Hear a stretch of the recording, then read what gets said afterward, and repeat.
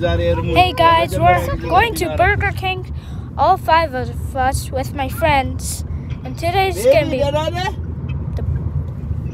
best day ever. Call your mom and tell her.